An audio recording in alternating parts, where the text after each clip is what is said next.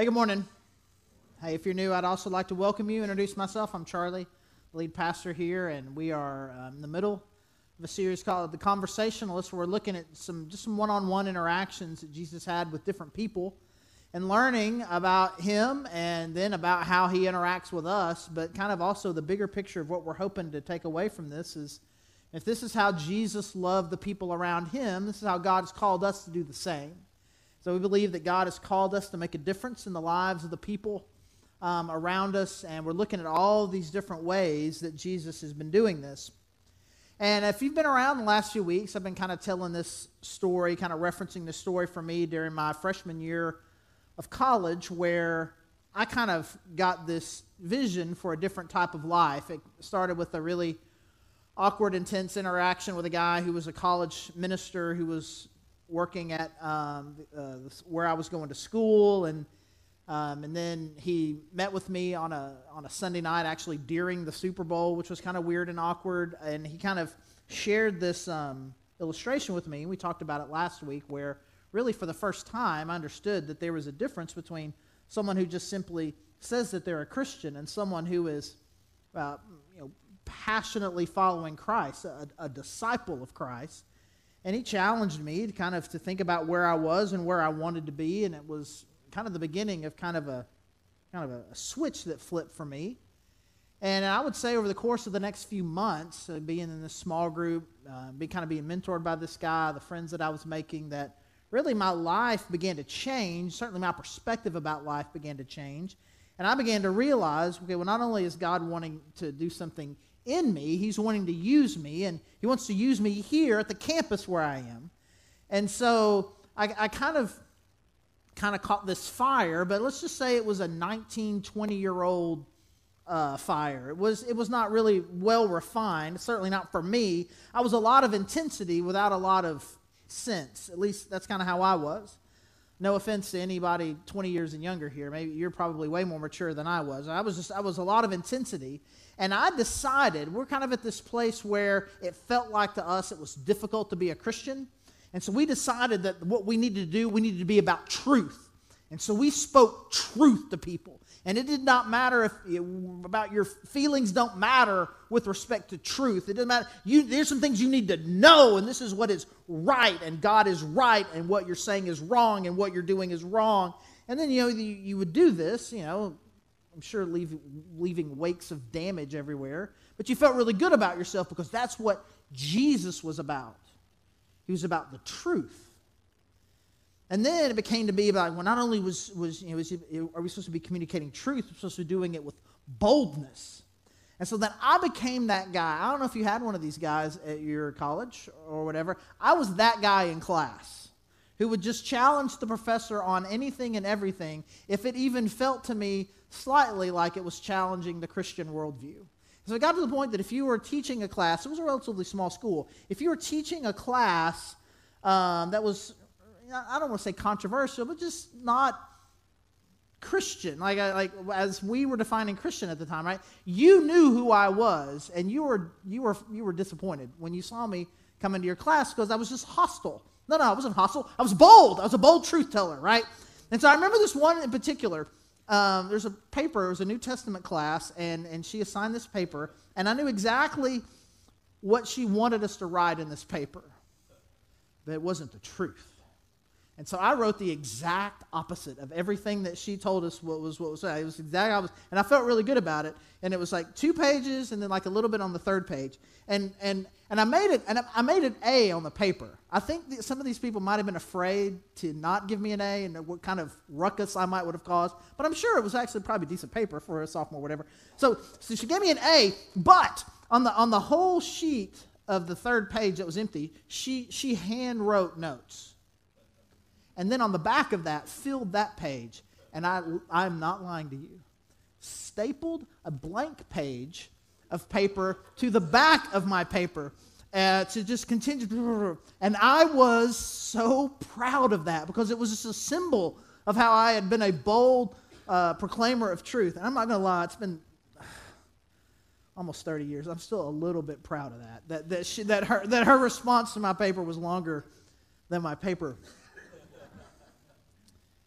you know, you just you kind of and you just you justify it because I, I can look and say, well, here's here's a time where Jesus is boldly proclaiming truth, and and you just begin to kind of shape what you see about Jesus and kind of who you want him to be. And then completely on the opposite end of the spectrum is like, Charlie, you just missed out. I mean, Jesus is about being nice and being kind. He's about being accepting. And there's this story and this story and this story. And, and, and you see that. And, and, and, and, and we, we take one story and we just make it that's who Jesus is. And my favorite way that people do this is, you guys know the story of where Jesus casts out these money changing people at the temple? It's okay, not very many. Okay. Oh, um, so anyway, there are these people that are outside the temple, and they're essentially kind of got a like an exchange rate kind of thing going for whatever um, sacrifice or offering that you're supposed to bring. If you've got wrong currency, they'll change that out. If you're supposed to bring a, a turtle dove to the sacrifice and you've just only got a duck, I mean, they can just kind of help you swap those things around, and they you know, take a little bit of the profit for themselves. And Jesus thought this was awful that it was degrading to the temple. It was he didn't like it at all. And so Jesus sat down and he took he says he took three strands of cord and he made a whip. Now I don't know who you think Jesus is, but whip maker, right? That's on the list. He like he sits down and he makes the whip. He makes a whip and uses this whip and turns over their tables and drives them out of the temple courts. And I cannot tell you how many times I sat and we've you, you talk about you got somebody who's being angry it's like, man, that man, that's not that's not cool. So, well, Jesus got angry. Yeah, like like one time. Like like like like uh, is there anybody here like like defiling the temple? You're just a jerk. No, no, it's righteous anger. It's like don't use that phrase. And I know some of you right now are feeling particularly called out, but it, it's, it's we just use it. We, we find one story, and we use it to justify all this other stuff. And and and the good heart in that, and all of that is I think there is this sense in which we know that we're supposed to be imitating Jesus. I'm supposed to be being like Jesus. I'm supposed to be about what Jesus was about. And it's sometimes it's just easier, if not bad, to just kind of decide what you're about and find a couple of stories that match you, rather than trying to get a really comprehensive picture about who Jesus was and what his mission was. And the story here we'll be looking at today, I, he kind of sums up after, after, the, after this interaction and this life change that he sees, he kind of sums up really what his mission was. And the story we're going to be looking at today is Luke chapter 19. It's the story of Zacchaeus. Now, how many of you guys grew up going to church and heard the story of Zacchaeus and also know that there's a song? Is that the Zacchaeus song? All right, all right. We're not going to be singing that today. Uh, so um, sorry, I apologize. Unless you'd like to right now, if there's any volunteers just want to come up here and sing a song. Anyway, it's a very popular kid's story, and um, we're going to be looking at today Luke chapter 19, verse 1 to 10. Now, Jesus entered Jericho and was passing through. A man was there by the name of Zacchaeus. He was a chief tax collector and was wealthy. He wanted to see who Jesus was, but because he was short, he could not see over the crowd. So he ran ahead and climbed a sycamore fig tree to see him, since Jesus was coming that way. When Jesus reached the spot, he looked up and said to him, Zacchaeus, come down immediately. I must stay at your house today. So he came down at once and welcomed him gladly. All the people saw this and began to mutter, He has gone to be the guest of a sinner. But Zacchaeus stood up and said to the Lord, Look, Lord, here and now I give half of my possessions to the poor, and if I have cheated anybody out of anything, I will pay back four times the amount. And Jesus said to him, Today salvation has come to this house, because this man too is a son of Abraham. For the Son of Man came to seek and to save the lost.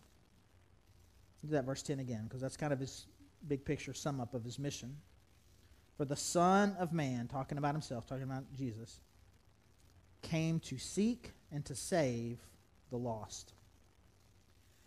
So we got this guy Zacchaeus, and they describe him as being really, really short, and so short that he can't really see Jesus. And he wants to come to this crowd. He wants to see Jesus. So Jesus is beginning to get a name for himself. He's coming into town, and lots of people are wanting to just see him, interact with him. Probably a lot of people want to get healed. They want to hear what he has to say. And Zacchaeus wants to be a part of this. And it describes him as a wealthy chief tax collector. And you don't have to be a first century Palestinian person to kind of go tax collector and be like, ugh, right? Everybody kind of has a bit of a negative connotation to that. But we've talked about this a couple weeks ago when Mark was talking about Matthew, that a tax collector in that time would have been, would have been seen uh, partly as a traitor to the country because you're working for the oppressive Roman government. So you're a bit of a sellout and a traitor. And also, they were thieves. It was essentially the, the, the scam was um, you know, your tax bill might be $10, and the, the tax collector would say 20 and they would just pocket the difference. And there really wasn't anything that you could do about it. So this guy is a traitor, he's a sellout, and not only is he a thief, but he's actually the, the chief thief. He is in charge of the thieves. And so this guy would have just been, in, in Jewish circles, would have just been considered one of the worst types of sinners. Like when, you, when you're reading through the Gospels and it's describing the worst types of sinners, I mean, it talks about tax collectors and prostitutes. And so it's, it's kind of on this level of just in that society, kind of the worst type of people. And so here he is, and he wants to see Jesus, but he's too short. He can't, he can't, he's not going to be able to see over the crowd. And so he gives a little bit ahead of where Jesus is and climbs up in a tree. It's an incredibly undignified thing to do, really, for anybody who's not a kid, I guess, but certainly for someone of, of that high of a status um, to do that. But he was desperate to get a glimpse of Jesus. And so then Jesus comes by and he looks up in that tree and he says, Zacchaeus, you come down I'm coming to your house today. Those are lyrics from the song. Um, and so then he does. He goes to his house, and people begin, like as always happens when Jesus is hanging out a little too much with sinners, like they're, they're grumbling about it. And then Zacchaeus has this complete turnaround and begins to read and wants to give uh, half of his possessions to the poor and wants to give back to everyone that he's defrauded and, and make up for it. And Jesus is like, man, this is a great day. Uh, salvation of life has come to this guy. And this is what I'm about to seek and save the lost. And so in this story, there's a few things I just want to make sure that we notice to kind of help us understand not only who Jesus is, but who he's called us to be. And the first one is this, is that Zacchaeus was unworthy. He was unworthy of really the time with Jesus. I mean, Jesus is this holy, special teacher. He's a rabbi. He's the Son of God. He is a good person, and good people didn't hang out with people like, like Zacchaeus. And here's the thing Zacchaeus knew it. It wasn't like he was confused about what people thought about him, he wasn't confused about his place in society. I mean, he, had, he knew who he was, but you can tell in him that there is some sense of his, of, of his knowledge of his own brokenness. And, and, and I wonder this, and I've been thinking about this this week, like, why mention that he was short? Like, it's really not essential to the story. Yeah, I mean, it could be like, and Zacchaeus, he wanted to go see, he wanted to hang out with Jesus, but there was a big crowd there and he couldn't see over the crowd, which is normal for people of average height. I mean, if you're average height and there's a crowd of average height people, you're not going to be able to see over it. It's normal thing. So he goes down, he climbs up a tree. It's the tree part, right? That what the steps that he's willing to take. Why bring up the fact that he's short? And I think a couple of things. What one, it's like I, th- I think it just points to how bad this dude's situation was. My guess is he wasn't just regular short, but there was like like like like severely short. And he had probably been bullied his whole life. He'd been bullied his whole life, and my guess is, is that the decisions that he has made here, where his life has gone, reflect that. You bully me, I'll show you. And the guy who was bullied becomes the bully, and he becomes the thief, and he begins to take from them. And now he's in this disadvantaged way, and now he, wants to go see Jesus. And what's he going to do? Go to the people he's bullying and say, uh, "Excuse me, uh, can I? Can I?" I mean, he's more likely to get punched in the face than for anybody to part past them, so he can go past. He had a level of influence where he probably could have found the nearest Roman soldier and said, Move these people out of the way. I want to stand right there. But he didn't. In all of his brokenness, he knew that there, was, he didn't want to do that.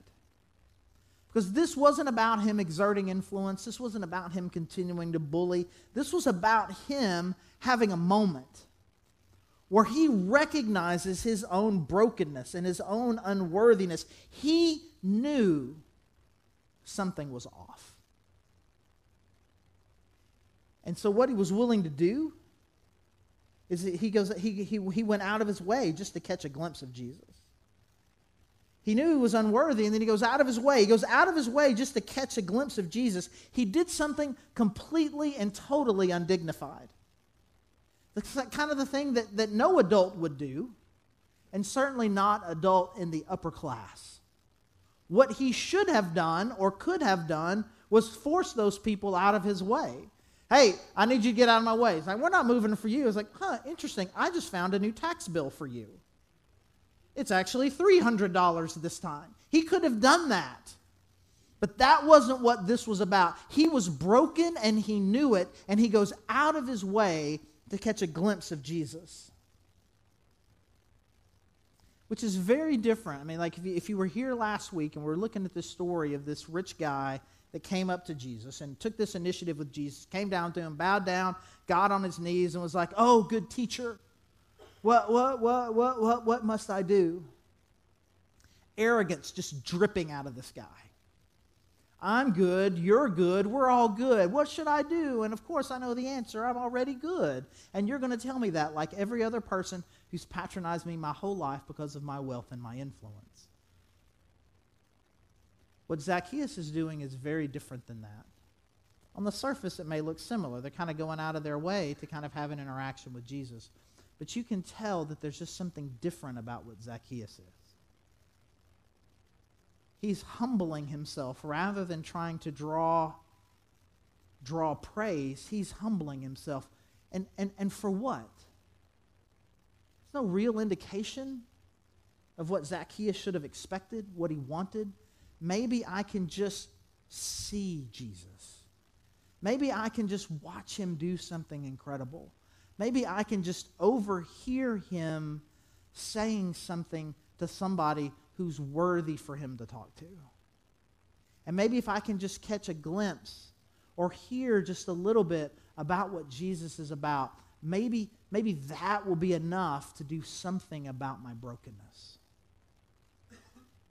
And so he goes out of his way, does this really undignified thing, just hoping maybe to overhear a conversation, maybe just to see this one that, that seems to be bringing hope and life with him wherever he goes. But something that certainly Zacchaeus did not expect happen. The one who was unworthy, who goes out of his way to catch a glimpse. What happens is, is that Jesus sought him out. He, Jesus sought him out. He, he, he walks past, and again, being Jesus, the Son of God, he knew who this guy was and was not surprised to see him in that tree. And he walks past and he points at him and says, Zacchaeus, I'm coming to your house. It's, it is essential that I do this. And whatever it was that Zacchaeus expected, it wasn't that. Again, he was just hoping for, for, for crumbs, just to overhear, second or third hand, some interaction that Jesus would have. But to have Jesus, Jesus see him, take notice of him, interact with him, invite himself to his house. Jesus goes out of his way to this person, this broken person who, who, was, who was not well regarded by anybody else in that crowd, and was probably, with the exception of maybe a Roman soldier or two who could have been in the crowd, but even still, even with that, he probably was the most hated person in that crowd, the most unworthy of Jesus. And Jesus is like, he could have had dinner with anyone. I'm having dinner with you. Get down, me and you. Of course, it caused a stir. Like, here are all these good people doing all the right things, doing everything the right way. He didn't ask to have dinner with them. The, the worst guy. And But this is what Jesus is about. You take a step towards Jesus, a real, genuine step. Again, not like the dude last week with all his pompous arrogance and pride. A broken person taking a step towards Jesus. Jesus is going to take a step towards you. And honestly, this is the type of church that we are desperate to try to, to, to be. That we want to be the type of church that you can come in at your most desperate and you will find us as a church taking a step towards you because we know Jesus is doing the same thing. If you visit here, we want you to know that we care and we strike this weird balance. We try real hard. Because like, no one wants, like, like, like our church used to put a red ribbon on you. Did you ever try like that little red ribbon says visitor? Like who? Like visitor ribbon. Nobody wants that. Every now and then you go to a church like, hey, everybody stand up. Hey, if you're a visitor, you keep standing up. Everybody else sit down. Like nobody wants that, right? But at the same time, we do want you know, we do want to have a little time like, hey, if you see somebody around you don't know, say hi to them. Like, would you fill out a card? We want you to know that we're glad that you're here. It matters to us that you took that step. And even if you're just a person who, like, I'm, I've already been walking with God. I'm just maybe looking for a new community. We want you to know is a place where, we, where you belong. We want you to be here.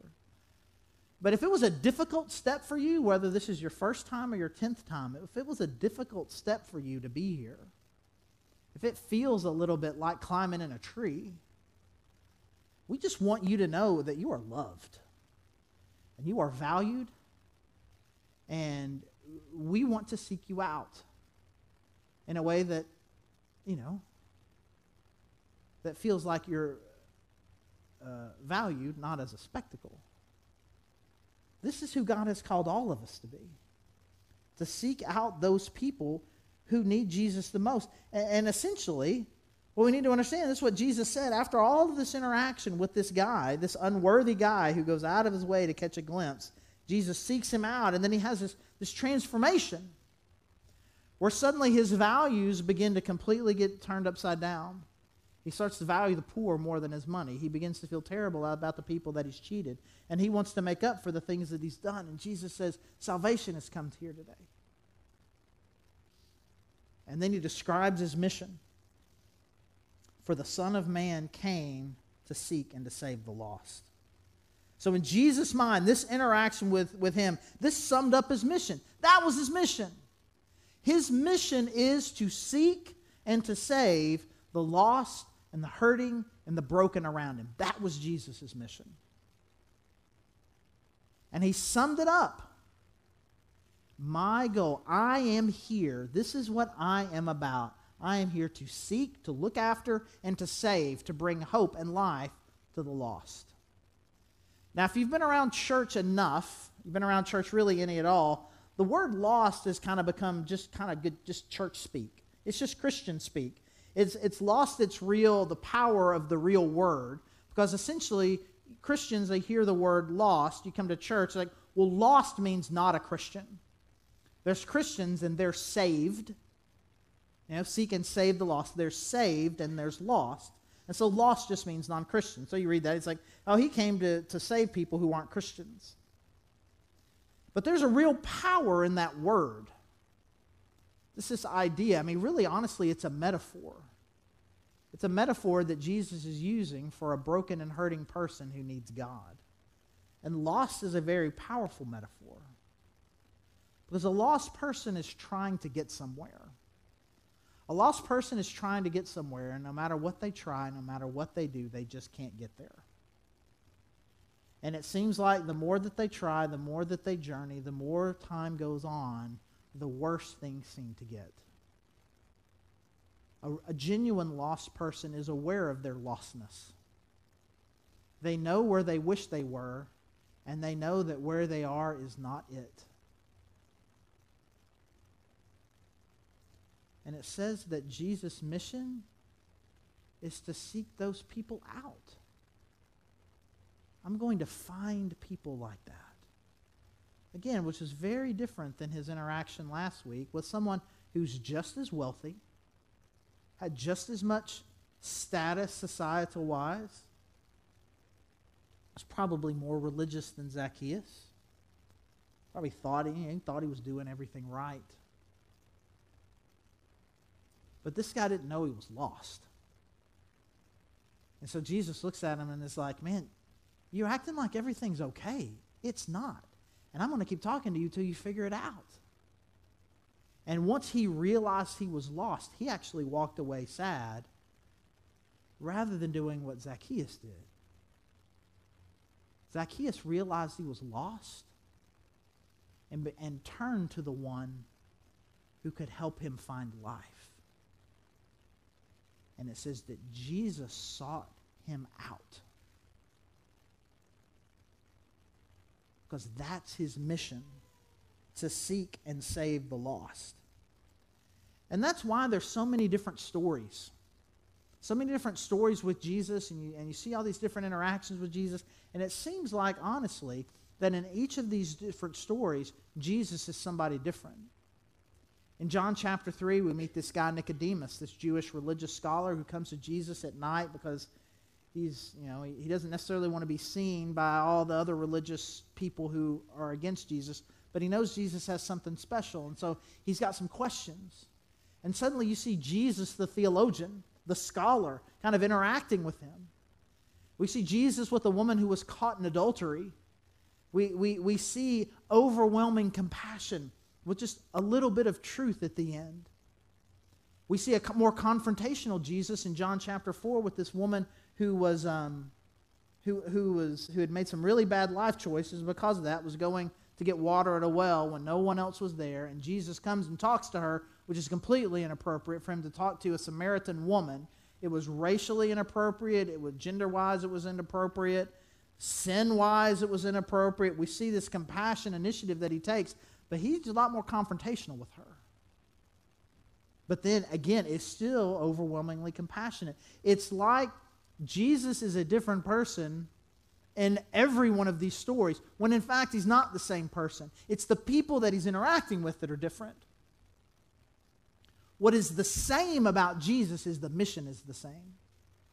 Here is a lost person that either help them understand that they're lost or they are lost and they know it, and I want to bring hope and life to them. That is the mission. So, whatever this person needs, whatever the situation calls for, Jesus will do and be what he has to be to seek and save the ones who are lost. And there's two different groups of people here that desperately need to hear this message. And the first are the people who are lost. You're lost and, you, and you, you're, you know life's not right. You know it's not working. And you know somehow in your head that church has some answers to that. And it just feels like sometimes if I can just get the church energy boost, I get the church energy boost, it feels better. And I'm telling you, it's so much more than an energy boost. It's so much more than being adjacent to people who are passionate about God. It is about Jesus Christ coming and seeking after you, and He's wanting to bring, He's wanting to save you. He's wanting to give you hope and life, and that comes by fully following Him and trusting that your real problem is your sin and that God offers forgiveness through the death and resurrection of His Son Jesus. He is seeking you out so that you will embrace that. You have come to the right place. Now embrace the one who is offering you hope and life. And if that's you, if this is your first time or it's your 50th time, our hope and our prayer is that you will find that.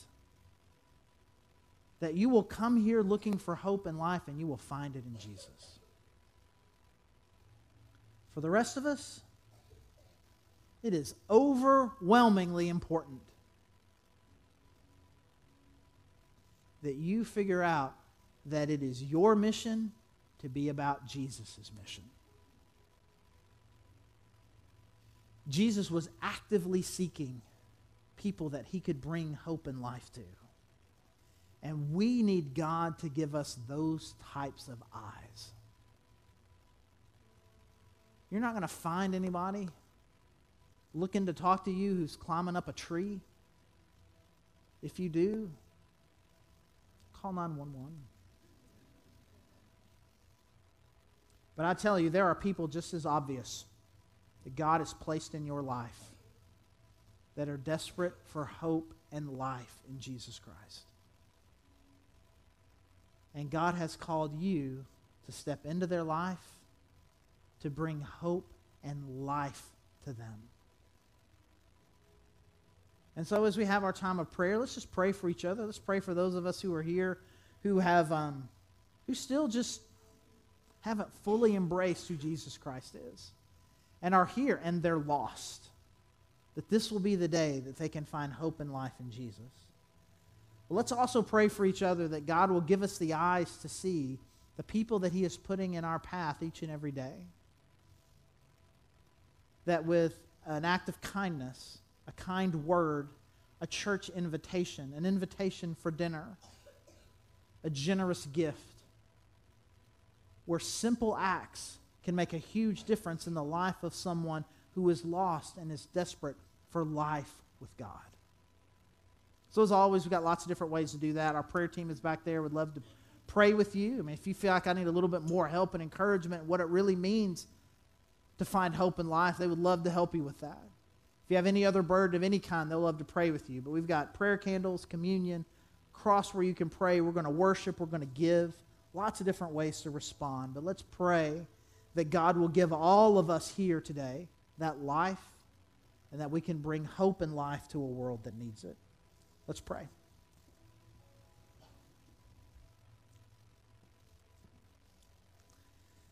God, I thank you. God, I thank you for Zacchaeus. God, I thank you that you, that you just took this hurt and broken and desperate man.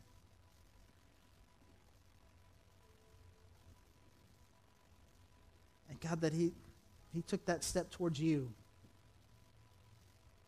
But God, I thank you that you sought him out. God, he didn't have to find the way himself because he knew he couldn't. God, and I thank you that that's true for all of us. That all of us here We can't find it on our own. We need you, and so we just thank you that you seek us out. And so, God, I pray for those of us who still need to find you that we would today. But, God, that you would give all of us a passion and a heart to find people around us who are in need of you and be carriers of hope and life to them. And it's in Jesus' name we pray. Amen.